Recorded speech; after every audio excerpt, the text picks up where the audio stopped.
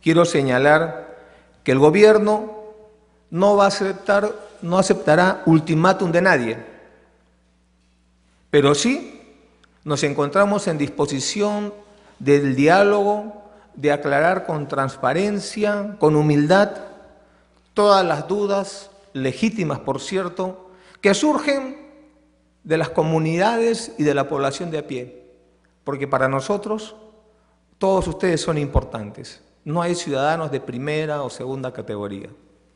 Y creemos en ese sentido que tenemos que, como gobierno, proteger las comunidades, sus recursos naturales, pero también las actividades productivas. El proyecto Conga no es un proyecto que lo hemos iniciado nosotros, es un proyecto que viene el año 2004 y ha estado durante la administración de dos presidentes de la República. Nosotros estamos encontrando ya el proyecto en una fase ya bastante avanzada. Y lo que yo he señalado claramente es que no somos antimineros. Y he señalado también que tenemos que hacer que la minería sirva a, todo, a toda la población y no a una minoría. Y lo que nosotros planteamos es mejorar cualitativamente la relación entre el, el Estado, la minería y las poblaciones. Nosotros jamás hemos dicho que vamos a votar la minería. Jamás lo hemos dicho. El proyecto Conga es un proyecto importante para el Perú, porque le va a permitir realizar la gran transformación y la inclusión social que ofrecimos al pueblo peruano. Queremos que este proyecto se integre, como otros proyectos más, al Plan de Desarrollo Regional de Cajamarca.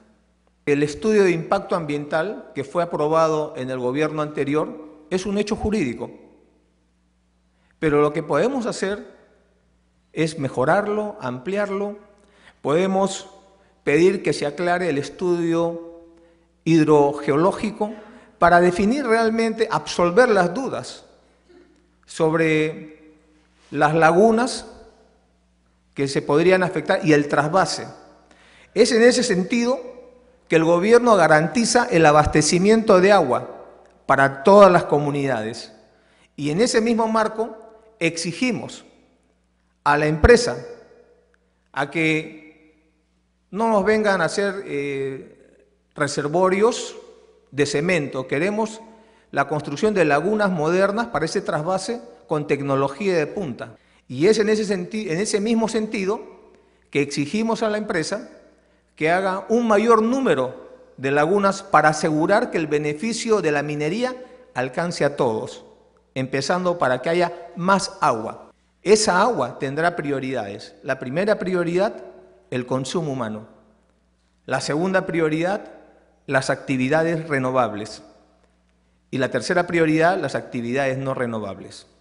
El gobierno se compromete a aportar otro tanto de la ampliación del fondo social que haga la empresa. Es decir, si la empresa decide ampliar el fondo social 50 millones más, el Estado pondrá otros 50 millones más para asegurar que el beneficio de la minería por fin cambie.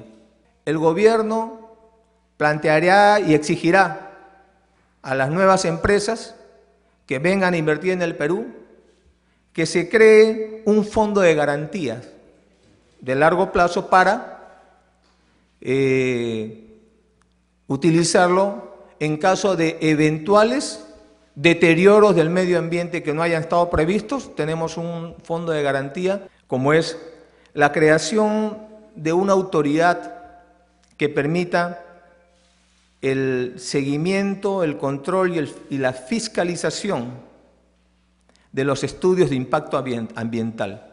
Para eso estamos evaluando que en esta autoridad adscrita a la PCM esté la Oficina de Estudios y de Impacto Ambiental del Ministerio de Energía y Minas, el ANA, que se encuentra hoy día en el Ministerio de Agricultura, y la OEFA, que se encuentra en Ambiente.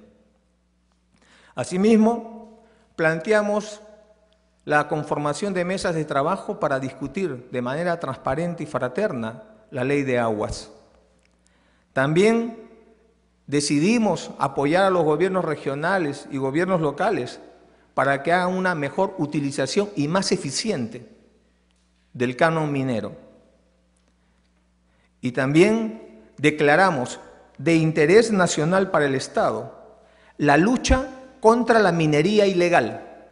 Y por último, vamos a fortalecer la unidad de conflictos de la PCM. Estamos apurando el reglamento de la consulta previa, no le podría dar una fecha, pero eh, lo, vamos a tomar como un tema de prioridad, porque es importante eh, darle la, reglamentación a lo que es la ley de la consulta previa eh, y que está dentro del marco del convenio del 178, me parece, de la OIT, 169 de la OIT. Bien.